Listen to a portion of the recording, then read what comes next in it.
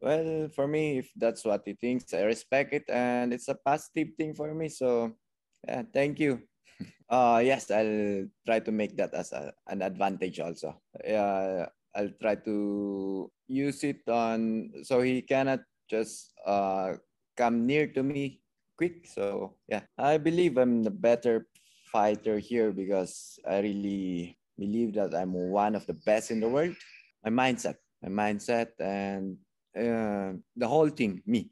I really believe that I'm here for a reason, and yeah, that I'm. This is my destiny to become a champion. I, I don't think so. Maybe he'll just uh try to strike a little bit, then use that to get uh, get closer to me and try to take me down.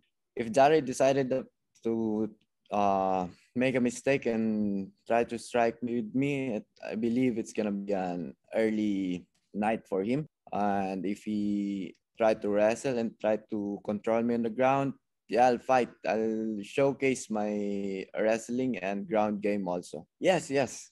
I'm looking forward for that fight also. So yeah, maybe I I'm not looking past Jarred, but after this fight, I'm really pushing for that fight. I for me, if they allow it, that will face each other in Muay Thai using using uh, four ounce gloves, then that will be better. I visualize myself here, giving everything, and yeah, it's gonna be a fun and exciting fight if we face each other because uh, we know his capabilities, and of course, in my side, I go there and give everything